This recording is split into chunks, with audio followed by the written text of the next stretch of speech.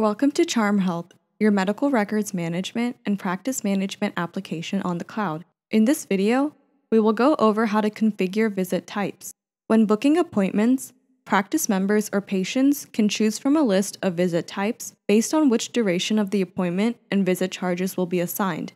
Visit types can only be configured by members who have practice access to calendar settings. Topics covered include how to configure visit type, how to associate visit types to providers, configuring visit types.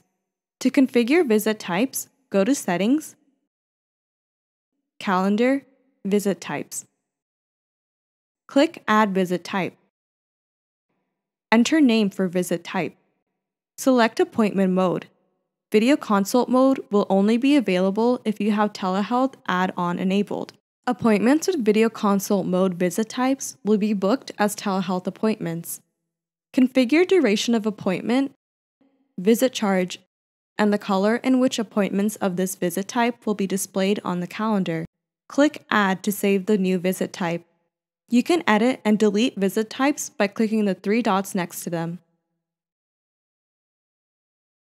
Associating visit types to providers. Once the visit types are configured, you can associate them to providers. Under Visit Types for Providers, you will find a list of providers from your practice.